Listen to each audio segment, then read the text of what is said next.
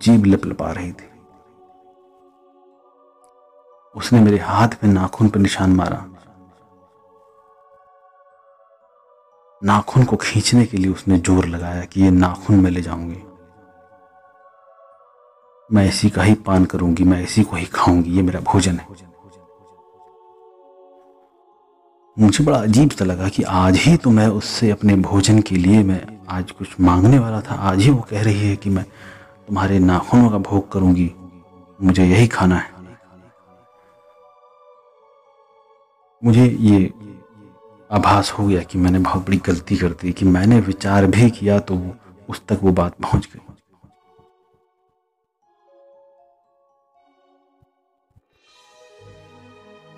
मैंने इस प्रश्न का कोई उत्तर नहीं दिया। जब उसने मेरे से पूछा, और ना ही मैंने अपने भोजन से संबंधित कोई भाव आने दिया, मैं अपने जाप को कंटिन्यू करता रहा और मैंने अपने जाप को और तीव्र करना शुरू कर दिया उग्र भाव से। अभी तक मैं शांति से कर रहा था, मुझे उग्र भाव से करने का संदेश हुआ भीतर से कि मुझे इसको उग्र भाव से करना चाहिए। जैसे ही मैंने उग्र भाव से करना शुरू करा, वो कन्न पिसाचनी जो शांत हो गई थी कुछ समय से, उसने अपना एक भयानक रूप लेना शुरू कर दिया। बहुत ही भयानक, इतना भयानक जैसे बिजली कड़कड़ा रही हो और आपकी पूरी बिल्डिंग हिल रही हो, पूरी आपकी धरा हिल रही हो, जैसे भूकंप आ रहा हो। और वो जब वहाँ से चीखने और चिल्लाने लगी, दूर जाए और फिर पास आए मारने के लिए, उसके हाथ में हथियार आ गया था। अब वो मुझे खाएगी ही खाएगी मार के। ये मंत्रों का बल था। और उस मंत्रों में दुहाई, आन, इस प्रकार से थी उसको मजबूरन पहले दिन से ही आना पड़ गया। ये सिद्ध मंत्र होते हैं और ये अघोर के मंत्रों की रहस्य है। जो कभी भी गुरु किसी के सामने देगा ही नहीं, किसी को देगा ही नहीं, ऐसे ही नॉर्मली बहुत कठिन परीक्षाओं के बाद आपको मिलेगा।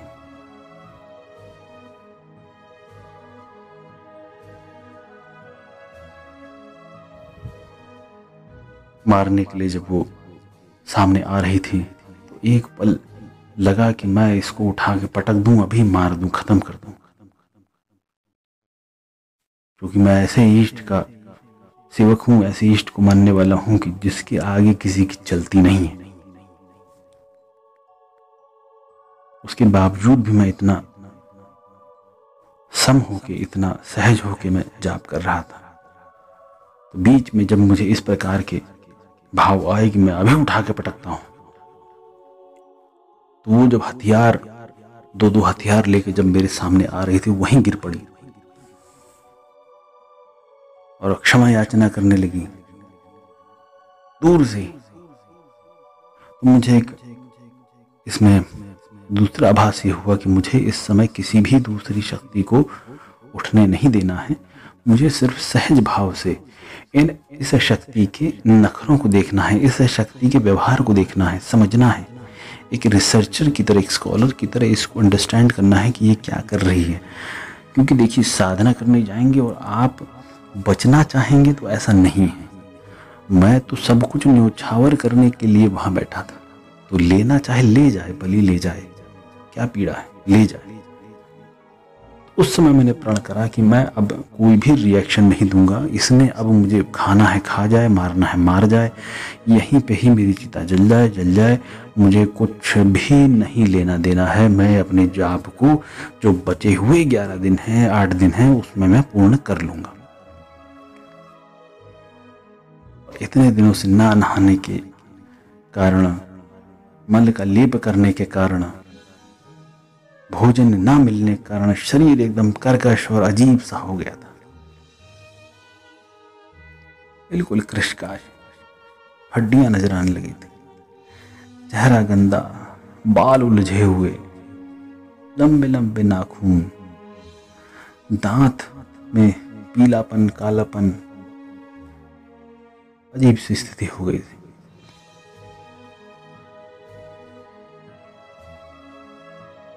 अनुभव बहुत सारे हैं, मैं बहुत सारे बताना चाहता हूँ उसके बीच में, लेकिन मुख्य मुख्य जो है मैं आपको बताता जा रहा हूँ।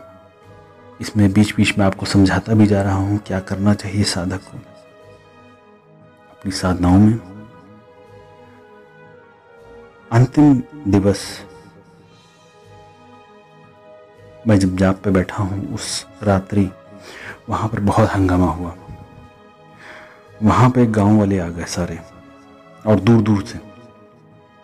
कि तुमने यहाँ पे क्यों हंगामा मचाया हुआ है? क्यों तुम यहाँ पे सारे गाँव वालों का जीवन बर्बाद कर रहे हो? और सब लाठी डंडे लेके मुझे मारने के लिए। ऐसा कोई भी व्यक्ति नहीं था जिसमें उसके हाथ में लाठी ना हो। सबके हाथ में टॉर्च और लाठी। और ढेर सारे, कम से कम 25-30 लोग थे और मुझे ये आभास हुआ कि आज ये मेरा अंतिम दिन है। मैंने उसको सहर्ष स्वीकार करा, ना मुझे कोई भय लगा, ना मैं लड़ने के लिए उठा। मैं चुपचाप अपनी साधना को करता रहा क्योंकि मैं जानता था कि ये आज अंतिम दिन है और आज अंतिम दिन सबसे बड़ी परीक्षा होने वाली है। अभी तक उस शमशान से, उस शमशान घाट से मेरे बहुत परिचय हो चुका था। आज तक वहाँ पर कोई भी व्यक्ति नहीं आया था। आज अंतिम दिन ऐसा क्यों हुआ? अचानक से खंड पिसाचनी आई, मेरे कान में कहा, ये तुम्हारे गुरु ने भेजे हैं। मैं बड़ा मुस्कुराया। मैंने कहा, वाह, मेरा गुरु मेरे इतनी देखभाल कर रहा है। इतने सारे लोगों को मेरी परीक्षा के लिए भेजा है। क्योंकि हमारे गुरुदेव वहीं डेरा लगा के अपने जो वहाँ पे कुछ कार्य हो रहे थे, उसके लिए अभी तक उसी गाँव में ही डेरा लगा के बैठे थे, मुझे पता ही नहीं था। ना मैंने जानने की कोशिश करी। तो उनको पता था कि आज इकतालीसवां दिन है, इकतालीसवीं रात्रि है। आज अंतिम परीक्षा होनी बहुत ज़रूरी है। जो शक्तियाँ ले रही हैं, उससे तो लड़ ही रहा है। मैं भी तो लेके देखूँ।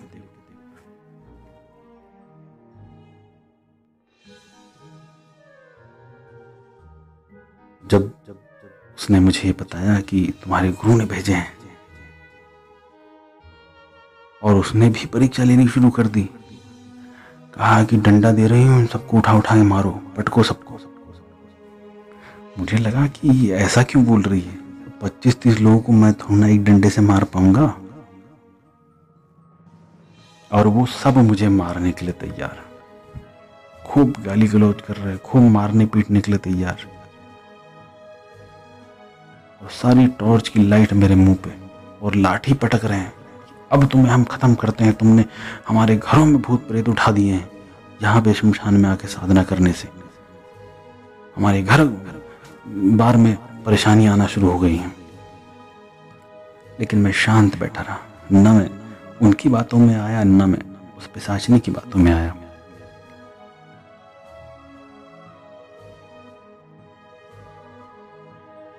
फिर अचानक से जब मैं उनकी तरफ़ ध्यान ही नहीं दे रहा था, मैं अपने जाप को ही कंटिन्यू कर रहा था। करीब 20-25 मिनट वो आपस में भी झगड़ते रहे, मुझसे भी झगड़ने के लिए प्रयास करते रहे।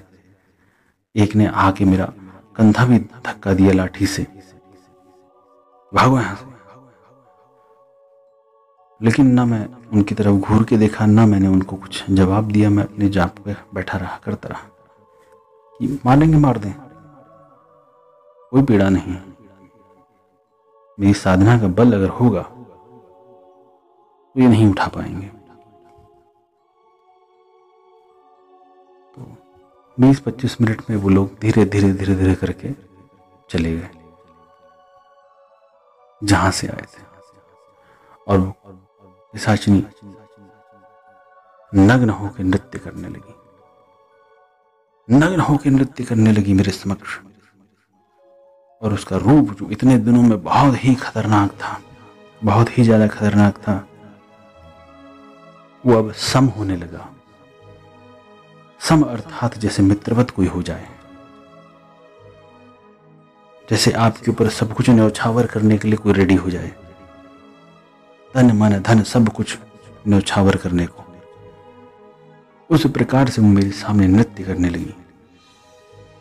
और उसका नृत्य ऐसा था, इस सांसारिक जगत में उस प्रकार के नृत्य का मैंने दर्शन आज तक नहीं करा है।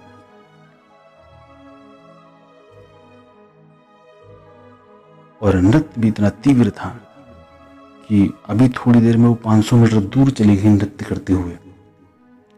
और आधे सेकंड में वो मेरे कान के पास आके कुछ कह रही है। फिर भागती हुई दूर चली जाए, फिर मेरे कान में आके कुछ कह दे, फिर दूर चली जाए, फिर कान में आके कुछ कह दे। और ऐसी गति हो गई थी कि अब मेरे मन को आदत लग चुकी थी कि मैं कान में कुछ सुनना चाहता हूँ बार बार एक जिज्ञासा सी बैठ गई थी कि अब ये क्या कहेगी, अब ये क्या कहेगी? क्योंकि मेरी पूर्व की कर्ण पिसाचने की साधना का अनुभव था तो इस चीज़ के प्रति मैं सचेत था। लेकिन इस समय मैं स्वयं उसके अनुभव में था तो मैं उतना चेतन भी नहीं था। बार बार वो जब मेरे आगे कान में कहती थी, इतने दिनों से जो लगातार कह रही थी, कभी बता रही थी उधर सोना गड़ा है, कभी बता रही थी कि वहाँ वो प्रेत बैठा है, कभी बता रही थी वहाँ प्रेमी युगल दूर बैठे हुए प्रेम प्रेमालाप कर रहे हैं। कभी मेरे गुरु के बारे में, कभी मेरे गुरु भाइयों के बारे में, कभी और भी बहुत सारी चीज़ों के बारे में वो लगातार बताती रहती थी। मैं उससे कुछ भी नहीं पूछता था क्योंकि इस चीज़ का आदेश नहीं ना तो भोग देना है, ना तो कुछ देना। मैं किसी चीज़ के आदेश की अवहेलना नहीं करता था, कभी नहीं करी, अब भी नहीं करता हूँ। भले ही मेरी गर्दन कट जाए, भले ही मेरा सब कुछ लुट जाए। ना मेरे को कोई दूसरा भाव आएगा, ना मैं कभी कुछ यदि आपको ये वीडियो जानकारीप्रद रोमांचक लगी हो तो ज्ञानवर्धन के लिए सभी साधकों के साथ साझा करें, सब्सक्राइब करें, लाइक करें